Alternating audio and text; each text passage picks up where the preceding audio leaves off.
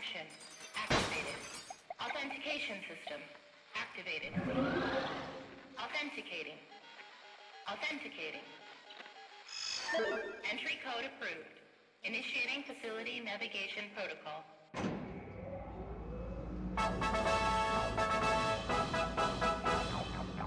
Welcome visitors to the Dream Discoveries Tour of our science facility, Lab Discovera.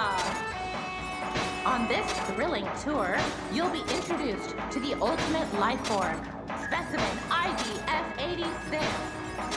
From the moment IDF-86 arrived on our planet, it began a campaign of destruction that threatens the native wildlife of our entire world. Luckily, our research team managed to capture it before it could complete its invasion.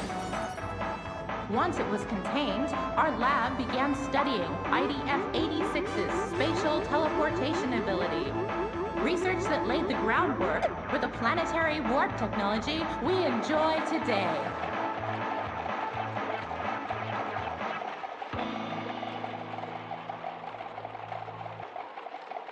However, 30 years after our research began, a warp experiment incident occurred in this facility. A new life form, separated from the main specimen, escaped in the aftermath. That new subspecimen has yet to be recovered. In the time since, IDF-86 has shown no signs of activity.